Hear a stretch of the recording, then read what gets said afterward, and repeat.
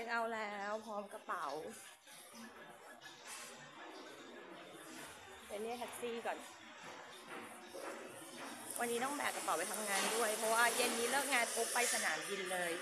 ตะกี้เช็คบินไปมันร้อยสี่สิบสี่ US ดอลลาร์พักสามสามวัน เมื่อวานหลวงตัวกินมินิบาร์มาหมุนไป